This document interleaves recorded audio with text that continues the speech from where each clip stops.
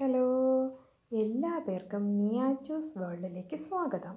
ഇന്നത്തെ എന്റെ ഈ വീഡിയോ ലക്കി പ്ലാന്റ്സ് അഥവാ ലക്കി ബാമ്പുവിനെ കുറിച്ചാണ്.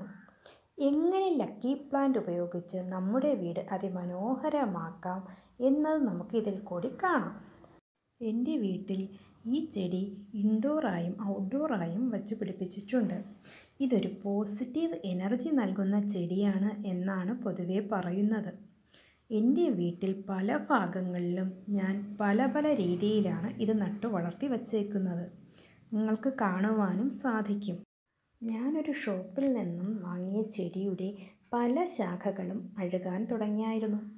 ആ അഴുകാൻ തുടങ്ങിയ ശാഖകൾ മാറ്റി ബാക്കിയുള്ളവ ഞാനൊരു ചട്ടിയിൽ നട്ടു.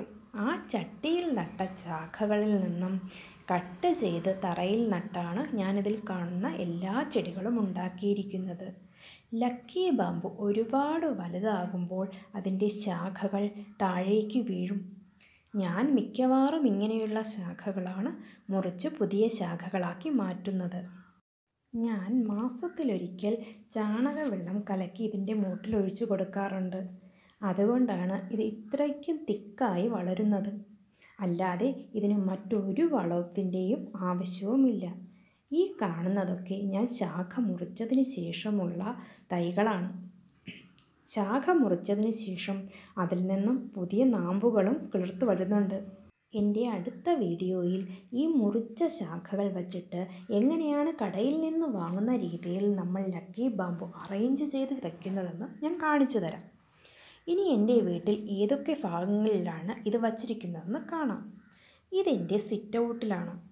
ഇതാണ് ആദ്യമായി ഞാൻ നട്ടു വളർത്തിയ ലക്കി ബാമ്പുവിന്റെ തൈ. ഇതിന്റെ സിറ്റ് ഔട്ടിൽ ഞാൻ വച്ചിരിക്കുന്നതാണ്. ഇതുപോലെ ഞാൻ എന്റെ വീട്ടിന്റെ പല ഭാഗങ്ങളിലും ഭംഗി കൂട്ടാനായി ലക്കി ബാമ്പ് ഉപയോഗിക്കുന്നു. നമുക്ക് വേണമെങ്കിൽ മെയിൻ ഡോറിന്റെ ഇരുഭാഗങ്ങളിലും ഇതുപോലെ എടുത്തു വയ്ക്കുവാൻ സാധിക്കും. ഇത് ഒരു കോർണറിലായി അറേഞ്ച് ചെയ്ത് വച്ചിരിക്കുന്നതാണ്. ഇത് ഞാൻ വെള്ളത്തിലാണ് ഇട്ട് വച്ചേക്കുന്നത്. ഇതിന്റെ ശാഖകൾ മറിഞ്ഞു വീഴാതിരിക്കുവാനായി ഞാൻ കുറച്ച് ചല്ലിയും വെള്ളക്കല്ലുകളും ഇട്ടിട്ടുണ്ട്. വെള്ളക്കല്ലുകൾ ഇടുമ്പോൾ ഇതിന്റെ ഭംഗി ഒന്നുകൂടി വർദ്ധിക്കും. ഇത് നമുക്ക് ഏതെങ്കിലും ഒഴിഞ്ഞ ഭാഗങ്ങളിൽ ഇതുപോലെ എടുത്തു വയ്ക്കുവാൻ സാധിക്കുന്നതാണ്.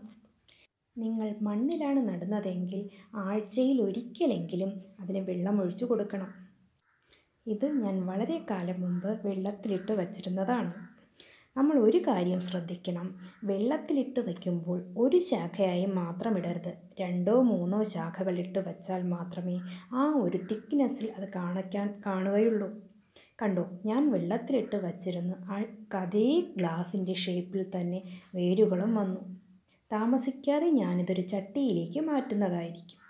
ഇതെന്റെ വീടിന്റെ സ്റ്റെയറിന്റെ അടിഭാഗമാണ്. അവിടെ ഒഴിഞ്ഞു കിടന്നത് കണ്ടപ്പോൾ ഞാൻ വെറുതെ ഒന്ന് വച്ച് നോക്കിയതാ. അത് അതിമനോഹരമായി അവിടെ മാറ്റി.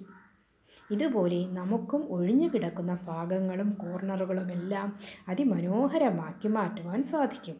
നിങ്ങൾക്ക് എന്റെ ഈ വീഡിയോ ഇഷ്ടമായെങ്കിൽ സബ്സ്ക്രൈബ് ചെയ്യുക ലൈക്ക് ചെയ്യുക ബെൽ ബട്ടണിൽ അമർത്തുക. താങ്ക്